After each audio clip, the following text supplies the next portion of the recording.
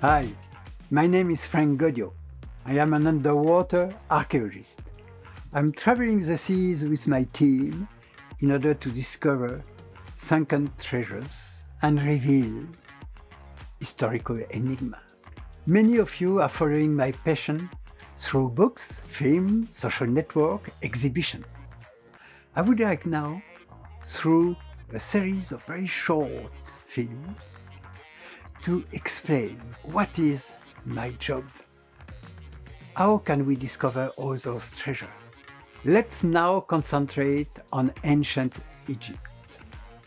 Let us discover a whole history which has been unrevealed until the end of the 20th century.